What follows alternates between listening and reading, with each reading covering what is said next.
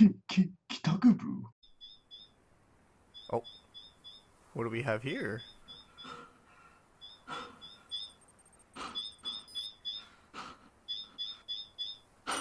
Scanning Triace. craft. Pan-Galactic Federation battleship, the Astoria. Wait, another s- a new Star Ocean? Readying third Starboard strike. thrusters to full power. There's no Wait, is this time. another? s- Wait, this Star Ocean?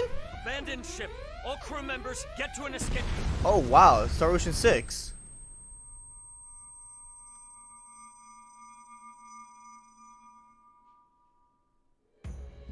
Oh shit.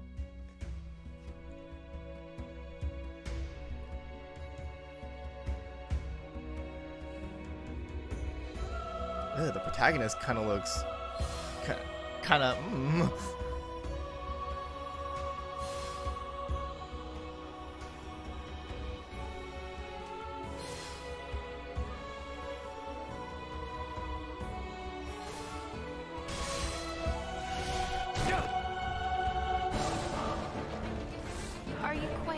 Quite alright? It's help you're offering, and it's help I'm So they decided to stay with the same graphics, huh?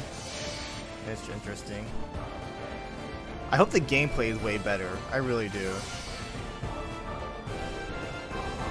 Damn near the full Federation fleet's moving in on us. Wish I could say we're good. But the Fed saw to it we aren't. The crew of the Edis needs you. Good luck. Oh wow, that's cool. Whip. Okay, the gameplay looks a lot better for sure.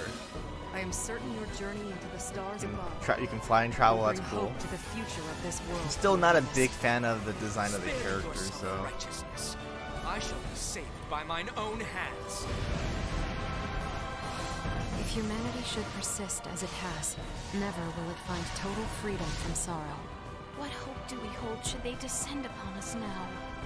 If you dare turn your back to this, I swear I'll destroy the Federation ship by ship until there's not a damn thing left.